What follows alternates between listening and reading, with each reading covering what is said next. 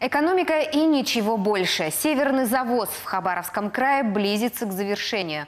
В этом году в отдаленные районы края планируется завести более 35,5 тысяч тонн топлива и ГСМ. Моторные масла для дизельных электростанций уже доставлены в полном объеме – 157 тонн. Поставлена половина от плана дизельного топлива – более 10 тысяч тонн. На 98% выполнен план поставки каменного угля – 14,5 тысяч тонн.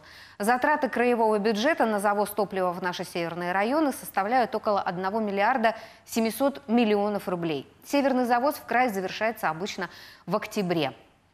Компания «Правоурмийская» входит в Русолово, ведущая разработку одноименного месторождения в Хабаровском крае. По итогам первого полугодия получила более 379,5 миллионов рублей чистой прибыли. В прошлом году в этот же период компания терпела убытки в 100 с лишним миллионов рублей. Прибыль от продаж выросла в 43 раза. Сегодня Правоурмийская модернизирует ГОК. Это позволит увеличить общую производительность до 4000 тонн олова. Напомню, что Правоурмийская разрабатывает одноименное месторождение в Верхнебуринском районе. В минувшем году предприятие Русолова выпустили 2500 тонн олова в концентрате.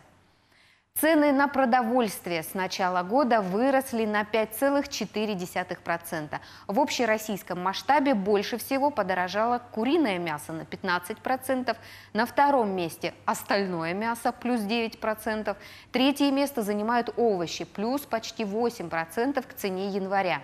Единственная категория продуктовых товаров, где цены за эти 7 месяцев снизились, это яйца. Но даже при этом они дороже, чем были в прошлом году.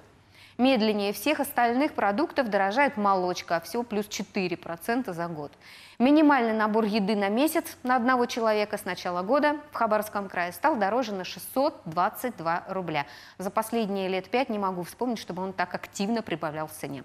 По возможности смотрите на качество того, что едите, а не на цену. Хотя все важно. Экономика – это интересно. Следим и участвуем.